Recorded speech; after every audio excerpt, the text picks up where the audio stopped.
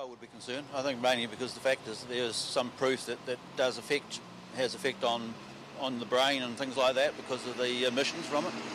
Yes, um, because I always have that worry about the um, the effect on people's health. So no, I wouldn't be very happy. Yes, they're ugly.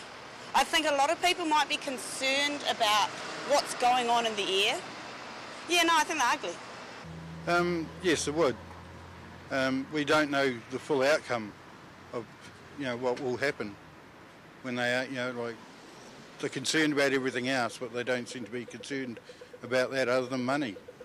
Um, I'm not really up with the whole um, information of what I can do apart from what I've heard, and um, probably no. With the way technology is these days, there's too much of it. So, yeah, we need to keep our, our health to um, you know to the maximum, and the less that we have around us, I think um, the better we would be. So, no. No, I won't be because you need communications, and it's not as really as ugly unless it takes up everything. It's not a problem. People complain they have no cell phone reception. Now they want to put up towers, and now they don't. Now they're complaining about it.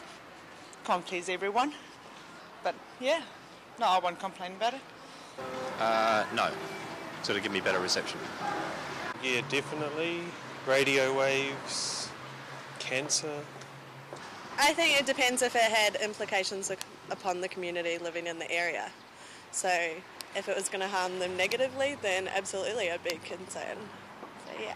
Uh, yes, because I'd be concerned about the effect on my family.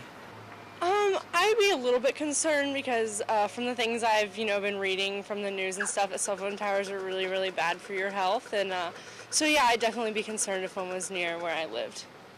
Uh, yeah, I'd, uh, visually, um, and I wouldn't be 100% about the um, the effects it would have on my body. Simple as that.